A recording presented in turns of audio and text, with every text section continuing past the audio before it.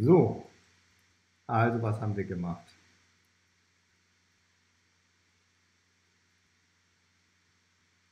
Zweiter Schritt, also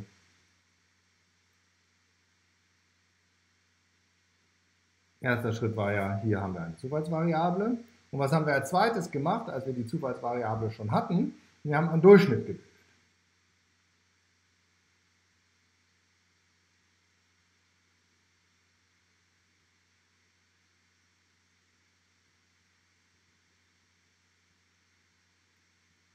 Ja, hier ist die Rechnung. Ja, wir haben irgendwie alle diese Zahlen zusammengezählt und dann durch 36 geteilt. Ja, eigentlich habe ich hier so ein bisschen noch einen Trick gemacht. Ähm, das erkläre ich gleich. Ähm, auf jeden Fall, ähm, dieses Durchschnitt bilden, das nennt man Erwartungswert, Erwartungswert bilden.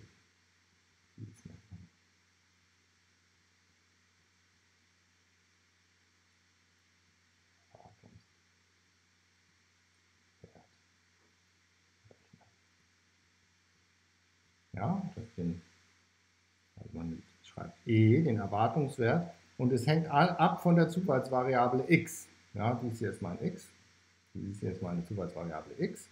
Ja, wenn hier andere Zahlen drin gestanden hätten, dann hätte ich ja auch hier was anderes hinschreiben müssen. Ja, also man äh, hat für jede Zufallsvariable kann man eine reelle Zahl ausrechnen und das ist der Erwartungswert. Das ist irgendwie der Durchschnitt über alle Möglichkeiten. Ja, hier sehen wir jetzt, ich habe eigentlich so ein bisschen einen Trick gemacht. Ich habe hier dieses hier einmal, dieses hier zweimal, dieses hier dreimal schon zusammengefasst. Ähm, was ich eigentlich hätte rechnen müssen, ist, ich nehme also meine 2.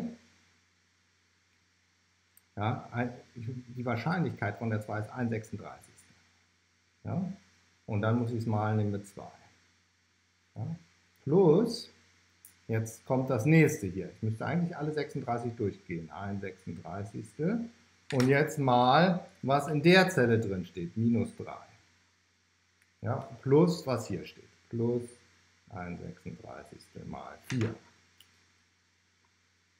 Minus 1 36. Eine plus 1 36. mal minus 5. Ja, ich will jetzt hier wirklich die Werte aus der Tabelle hinschreiben. Minus 1 36 mal 6, ja, plus 1 36. mal 6 und plus 1 36. mal minus 7. Und dann kommt die zweite Reihe. Ich fange nur, schreibe nur den Anfang hin. 1 36.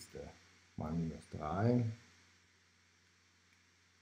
plus 1 36. mal 4 plus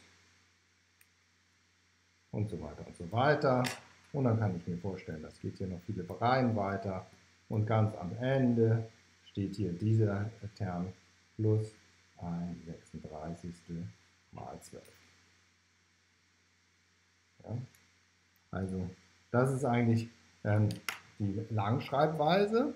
Ja? Jedes Element hier mal die Wahrscheinlichkeit. Ja? Und dann kann man natürlich, wenn man ein bisschen geschickt zusammenzählt, kann man das hier dann so wie ich es hier geschrieben habe, zusammenfassen. Ja, ich nehme die ganzen Zweien, dann die Dreien, dann die Vieren und dann komme ich auf den Schritt. Also ich habe eigentlich den allerersten Schritt weggelassen, ne, weil mir das eh klar war, dass man das so machen kann.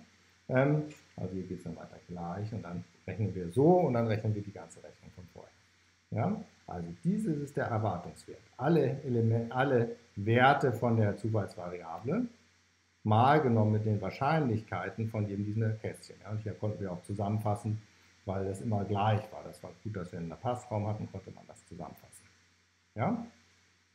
Also ich schreibe im nächsten Video das nochmal, was ein Erwartungswert ist.